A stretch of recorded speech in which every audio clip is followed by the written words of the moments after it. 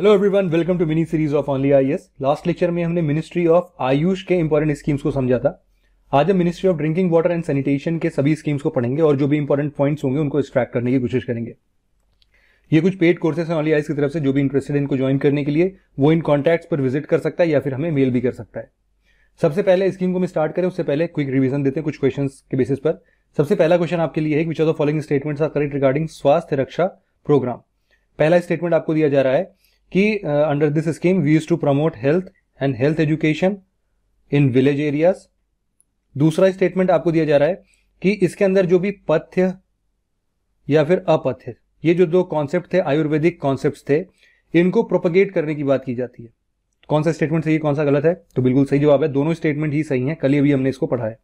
दूसरा स्टेटमेंट जो है, वो है which are the following statements are correct regarding traditional knowledge digital library अब यहाँ पर पहला स्टेटमेंट आपको दिया जा रहा है कि this is a joint collaboration under ministry of HRD और MeitY ministry of electronics and information technology दूसरा स्टेटमेंट आपके लिए है कि this scheme use to protect Indian traditional knowledge from wrongful patents तो आपको पेटेंट नाम सुनते ही पता चल गया होगा कि मिनिस्ट्री तो बिल्कुल गलत ही है।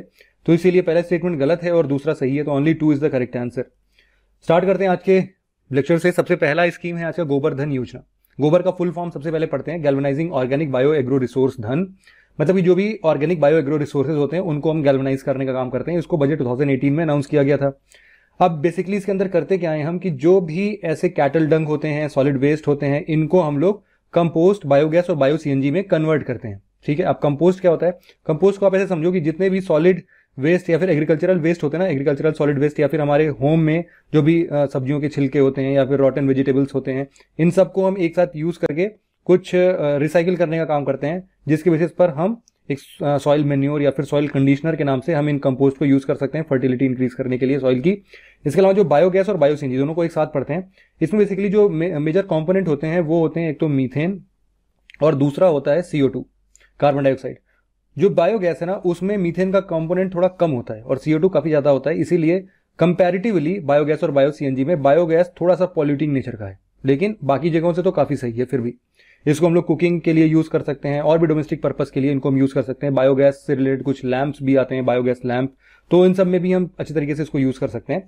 तो बायोगैस में जो मीथेन का परसेंटेज है, वो नियर अबाउट हम मान सकते हैं 55 से 65 परसेंट के लगभग होता है और सी इसी तरीके से 35 से लेकर 45 परसेंट तक होता है। लेकिन बायो सीएनजी क्या है? एक प्योरीफाइड फॉर्म ऑफ़ बायोगैस है, जिसमें हम लोग मीथेन के कंसेंट्रेशन को इंक्रीज कर देते हैं मेनी फोल्ड्स और ये बढ़कर हो जाता है लगभग लगभग नाइन्टी से नाइन्टी तक। ऑन एन एवरेज 97 परसेंट बहुत जगह लिखा होता है। तो कंफ्यूज नहीं होना, आपको इतना समझना है कि मोर देन 90 परसेंट जो है, इसमें मीथेन ही है। और कार्बन डाइऑक्साइड का जो एक वैल्यू है बहुत कम है, दो से आठ परसेंट होता है। तो ये एक सेफर फ्यूल है, ठीक है? बायो सीएनजी तो इस बेसिस पर हमने ये सब सारी समझी। इसके अलावा कुछ और बात करते हैं गोवर्धन की।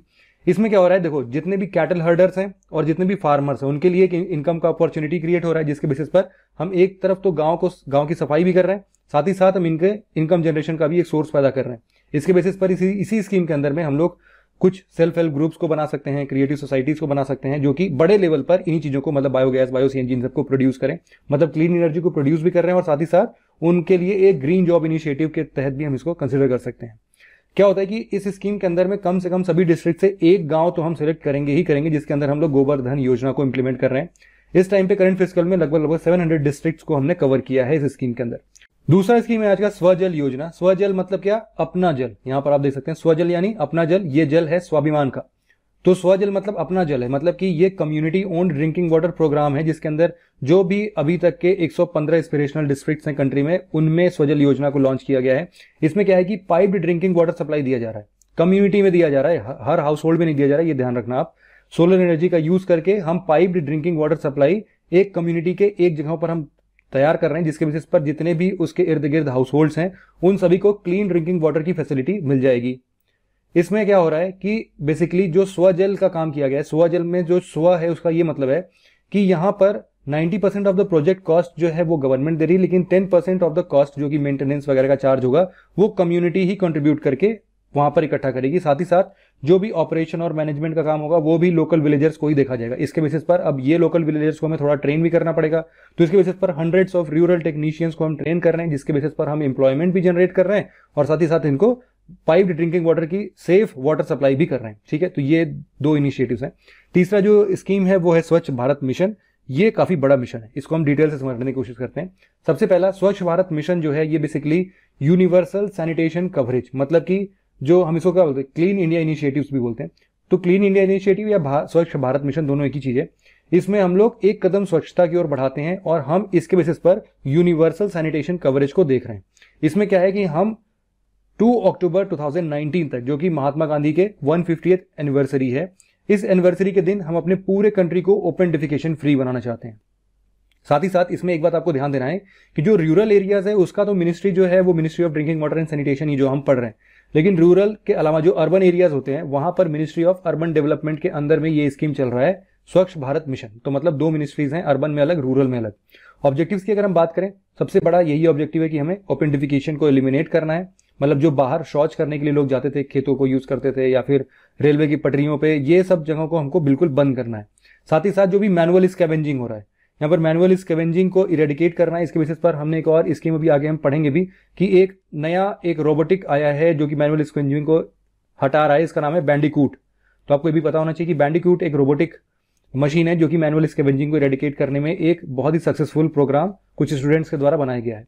इसके अलावा हम सॉलिड वेस्ट मैनेजमेंट की भी बात कर रहे हैं कि जो भी वेस्ट मैनेजमेंट होगा, इसमें भी साइंटिफिक तरीके से हम इनको कलेक्ट करेंगे डिस्पोज करेंगे।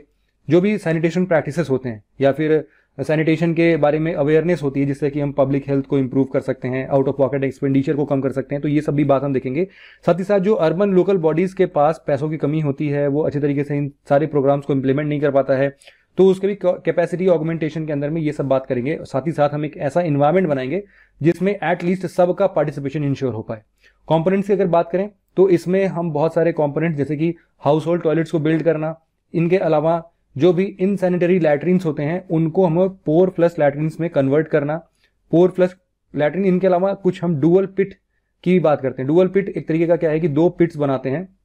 जब एक पिट बढ़ जा, भर जाता है ये तो इसमें क्या होता है कि दूसरे, ये दोनों कनेक्टेड होते हैं। तो जितने भी डिस्पोजल्स होते हैं, हमारे फीकल डिस्पोजल्स होते हैं, वो दूसरे टैंक में कलेक्ट होते रहते हैं। और ये कलेक्ट होते होते हैं पाँच से दस साल तक इसी में कलेक्ट होते हैं। तब क्या होता है, पाँच से दस साल में ये वाला जो फीकल कलेक्शन होता है, ये डिग्रेड हो जाता है सॉइल में मिल जाता है, ये फिर से खाली हो जाता है। और इस तरीके से हमेशा ये चलता रहता है। काफ़ी सालों तक ये डुअल पिट वाला सिस्टम चलता रहता है। तो इसके बेसिस पर कम्युनिटी टॉयलेट्स बिल्ड करेंगे पब्लिक टॉयलेट्स बिल्ड करेंगे सॉलिड वेस्ट मैनेजमेंट को देखेंगे, और इवन जो भी पब्लिक अवेयरनेस है, उसमें हम लोग इन्फॉर्मेशन एजुकेशन और कम्युनिकेशन का भी हेल्प लेंगे। यहाँ पर जो कम्युनिटी टॉयलेट्स है, यहाँ पर एक प्रॉब्लम आजकल देखने जा रही है कि यहाँ पर भी कास्ट बेस्ड डिस्क्रिमिनेशन देखने को मिल रहा है। कास्ट बेस्ड डिस्क्रिमिनेशन का क्या मतलब है? कि बहुत सारे ऐसे कम्युनिटी टॉयलेट्स हैं जहाँ पर केवल और केवल वहाँ फिक्स कर दिया गया अगर जैसे लाइन से तीन, चार, पाँच, छह टॉयलेट्स अगर ऐसे वहाँ पे बना दिए हैं कम्युनिटी में तो ये यहाँ पर बिल्कुल फिक्स कर दिया गया है कि ये जो पहले के दो टॉयलेट्स हैं, ये उस कम्युनिटी के हायर स्ट्रेटा में जो भी आते होंगे, उनको केवल ये टॉयलेट यही यूज़ करेंगे। तो यहाँ पर भी हम देख रहे हैं कास्ट बेस्ड डिस्क्रिमिनेशन इन सब में भी हो रहा है, जिसको हटाने के काम के लिए ही हम ये सारा स्कीम बना रहे हैं, वो भी धीरे धीरे डिफीट होता हुआ दिख रहा है, लेकिन उस पर भी फर्दर काम चल रहा है। इंप्लीमेंटेशन और फंडिंग की बात करें तो इंप्लीमेंटेशन में सबसे पहले हम देख रहे हैं, सबसे बड़ा काम यही है कि हमको ओडीएफ जो भी है ओपन ओपेंटिफिकेशन फ्री का ये जो अवेयरनेस है उसको लोगों तक पहुंचाना है। इसके बेसिस पर बिहेवियरल चेंज करने हैं और इस बिहेवियरल चेंज को कैरी करने के लिए हम लोग इन्फॉर्मेशन एजुकेशन एंड कम्युनिकेशन का सहारा ले रहे हैं। इसके अलावा इसी के साथ साथ हम लोग gender sensitive information behavioural change guidelines और मास एजुकेशन एक्टिविटीज़ को भी पार्टिसिपेशन में रखते हुए हम बिहेवियरल चेंज की बात कर रहे हैं। साथ ही साथ जो यहाँ पर फंडिंग की बात हम कर रहे थे, इसमें नॉर्मल डिस्ट्रिक्ट्स में तो 25 फाइव इज़ टू सेवेंटी मतलब 25 परसेंट जो फंड है, वो स्टेट का होगा 75 सेंट्रल शेयर होगा। इसके अलावा जो भी नॉर्थ ईस्टर्न या स्पेशल स्टेटस कैटेगरीज के अंदर में जो स्टेट्स हैं, उनको टेन परसेंट कॉन्ट्रीब्यूट करना पड़ेगा, बाकी गवर्नमेंट नाइन्टी परसेंट देगी सेंट्रल गवर्नमेंट इसी के अंदर एक कॉन्सेप्ट है स्वच्छ मंच का। स्वच्छ मंच क्या है कि एक तरीके का वे वेब बेस्ड प्लेटफॉर्म है। इसमें क्या है कि जितने भी लोग वॉलेंटियर रूप से इसमें एज ए स्टेक होल्डर काम करते हैं जो भी उनको अपॉर्चुनिटीज़ दिखती हैं, स्वच्छ भारत मिशन के अंदर उसको काम करते हैं तो उन सभी को एकत्रित करने का या फिर एक साथ लेके आने के लिए एक कॉमन प्लेटफॉर्म बनाया गया है, स्वच्छ मंच। स्वच्छ मंच में ही हम क्या करते हैं कि बहुत सारे जो भी लोगों ने काम किए हैं, उसके फ़ोटो वगैरह लेके पिक्टोरल एविडेंसेस के साथ हम यहाँ पर अपलोड कर देते हैं। तो जिससे कि एक एक्नोलेजमेंट हो पाता है कि हाँ यहाँ पर ये काम हो चुका है, कि मतलब किस लेवल तक पहुँचा है, ये सब बात यहाँ पर होता है। साथ ही साथ हमने स्वच्छता ऐप के साथ स्वच्छ मंच को इंटीग्रेट कर दिया है स्वच्छता ऐप जो है ये बेसिकली सिटीजन के लिए ग्रीवांस रिड्रेसल प्लेटफॉर्म था। अब इन सभी को स्वच्छ सर्वेक्षण 2019 का भी एक पार्ट बना दिया गया है। आपको ये भी पता होना चाहिए कि 2017 में आ, हमारे प्राइम मिनिस्टर श्री नरेंद्र मोदी के द्वारा स्वच्छ ग्रह बापू को कार्यांजलि योजना के अंदर भी कुछ स्वच्छता की बात की गई थी। ये बेसिकली हंड्रेड एनिवर्सरी थी चंपारण मूवमेंट की तो उसके बेसिस पर भी हम लोग कुछ स्वच्छता की ओर कुछ हम बात कर रहे थे। इसके अलावा एक कॉन्सेप्ट इस स्कीम के अंदर और है। यहाँ पर ओडीएफ प्लस और ओडीएफ प्लस प्लस प्रोटोकॉल चलता है। तो ये क्या होते हैं? तो आपको पता होना चाहिए कि स्वच्छ भारत मिशन जो अर्बन वाला है, वो लगभग लगभग 18 स्टेट्स के मोर देन 3000 सिटीज़ में ओपन डिफिकेशन फ्री का करार दे दिया है। इसके अलावा ऐसे लगभग लगभग 2700 सिटीज़ हैं जिनको सर्टिफिकेशन भी मिल गई है एक इंडिपेंडेंट थर्ड पार्टी के द्वारा। मतलब कि जो भी इंटायर सैनिटेशन वैल्यू है, उसको भी हम यहाँ पर धीरे धीरे होलिस्टिक तरीके से डेवलप करना चाहते हैं। मतलब कि जो भी ओडीएफ है ओडीएफ का मेन पर्पज ये है, जो क्वालिटी है क्यू फॉर क्वालिटी इसको हमें इंप्रूव करना है। कैसे? बिहेवियरल चेंज लेके आना है रिस्टोरेशन ऑफ़ टॉयलेट्स और इसके साथ ही साथ जो भी ग्राउंड ट्रेनिंग और डेवलपमेंट का काम है, उसको भी हमको अच्छे तरीके से निभाना है। अब यहाँ पर ओडीएफ प्लस और ओडीएफ प्लस प्लस की हम बात कर रहे थे, ये क्या होता है? ये ओडीएफ प्लस जो है, एक तो ओडीएफ ओपन डेफिकेशन फ्री हो गया सिंपल तरीके से। लेकिन ओपन डेफिकेशन फ्री के साथ ही साथ अगर हम लोग सस्टेनिंग कम्युनिटी या पब्लिक टॉयलेट्स के यूसेज पर भी ध्यान दे रहे हैं, उसका वो कितना फंक्शनल है, ऐसा तो नहीं है कि एक महीने तक चला और फिर वो वहाँ पर फीकल डिपॉजिट जम गए वहाँ पर और वो बंद हो गया अब। इसके अलावा वहाँ पे क्लीनलीनेस मेंटेनेंस उन सबका कैसा हो रहा है, इन सब पे अगर हम ध्यान देते हैं साथ ही साथ तो ये ओडीएफ प्लस प्रोटोकॉल के अंदर में आएगा। इसके अलावा ओडीएफ प्लस प्लस क्या है, इससे भी एक कदम आगे, जब हम लोग जितने भी यहाँ पर क्लीनलीनेस मेंटेनेंस इन सब का काम देख ही रहे हैं, लेकिन साथ साथ जो भी हमारा फीकल स्लच और सेप्टेज होता है, या फिर सेप्टिक टैंक्स में जो भी चीज़ें इकट्ठा हो रही हैं, उनको हम कैसे डिस्पोज ऑफ़ करते हैं, उनको कैसे हम प्रोसेस कर रहे हैं, कैसे सेफ़ कंटेनमेंट उनका चल रहा है इन सबके बेसिस पर भी अगर हम एक एडवांस स्टेज में जाके हम फोकस करते हैं तो वो ओडीएफ प्लस प्लस के अंदर प्रोटोकॉल के अंदर में आता है, ठीक है? अगला स्कीम है आज का जल मनी प्रोग्राम जैसा कि नाम से लग रहा है जल मनी। मनी मतलब क्या है? कि यहाँ पर मनी नहीं मणि होगा एक्चुअल में, जल मनी प्रोग्राम ठीक है? तो यहाँ पर जो भी rural drinking water supply program है एक तरीके का, इसमें क्या होगा कि कुछ स्टैंड अलोन प्यूरिफिकेशन सिस्टम्स ऐसे कुछ। यहाँ पर हर रूरल स्कूल्स में दे दिए जाएँगे इंस्टॉल कर दिए जाएँगे जिसके बेसिस पर स्कूली बच्चों को at least safe drinking water मिल पाए। इसके अलावा हम लोग स्टेट uh, गवर्नमेंट्स के द्वारा ये एक्चुअली ये स्कीम इंप्लीमेंट की जा रही है और gram panchayat village water and sanitation committees self help groups इन सब का भी पार्टिसिपेशन हम इंश्योर कर सकते हैं इसमें। पांचवा स्कीम है आज का हर घर जल। इसके अंदर क्या है कि हम बेसिकली सेफ़ टैप वाटर की सप्लाई करना चाहते हैं सभी हाउस होल्ड में लगभग लगभग 2030 तक। तो एक तरीके का आप देखो कि यहाँ पर एक जैसे हिसाब से अभी नई मिनिस्ट्री क्रिएट की गई है, जल शक्ति मंत्रालय। तो उससे भी थोड़ा थोड़ा ये मिलता जुलता ही है। इसके अलावा जो भी रूरल हाउस होल्ड है, अगर हम 2024 तक यहाँ पर इंश्योर करते हैं तो ये भी एक जल जीवन मिशन के अंदर में आएगा। हर घर जल का एक और इनिशिएटिव है, जल जीवन मिशन। ठीक है? तो रूरल अगर हाउस होल्ड पे केवल सप्लाई करते हैं तो वो क्या है? जल जीवन मिशन है। और अगर ओवरऑल कंट्री के सभी नेशन पे, सभी घरों में हम पाइप ड्रिंकिंग वाटर सप्लाई करते हैं तो वो हर घर जल के अंदर में आ रहा है। ठीक है? दोनों का डिफरेंस आपको पता होना चाहिए।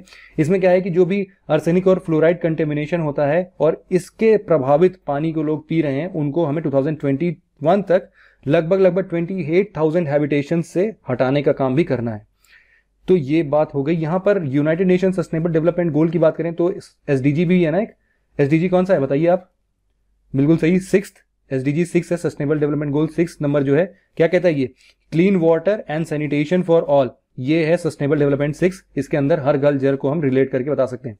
इसके अलावा अगला स्कीम हमारा Swachhta one point zero one point O के अंदर में सबसे पहले तो ये कि ये सबसे पहला स्वच्छ भारत हैकेथॉन था, जिसके अंदर में हम लोग बहुत सारे लोग को बुला रहे थे कि आओ और हमें बताओ कौन कौन से ऐसे टेक्नोलॉजिकल सोल्यूशन है जो कि हम स्वच्छता की ओर, हम इसको इंप्रूव करने में लगा सकते हैं। तो जितने भी इनोवेटर्स थे, जिनको अगर हमें ये बताना है कि फीकल मैटर को कैसे अर्ली डिकम्पोज करना है, कैसे हम टॉयलेट्स को अच्छी तरीके से मॉनिटर कर सकते हैं मैनेज कर सकते हैं, जो भी हमारा मेंस्ट्रुअल वेस्ट होता है या फिर इसको हम कैसे सेफ़ डिस्पोज कर सकते हैं कौन सी नई टेक्नोलॉजी हम टॉयलेट में इनबिल्ड कर सकते हैं, कैसे हम बिहेवियरल चेंज ला सकते हैं, इन सबको इंप्रूव करने के लिए जो भी इनोवेटर्स थे, वो नए नए इनोवेशन लेके आए थे स्वच्छ थॉन वन में।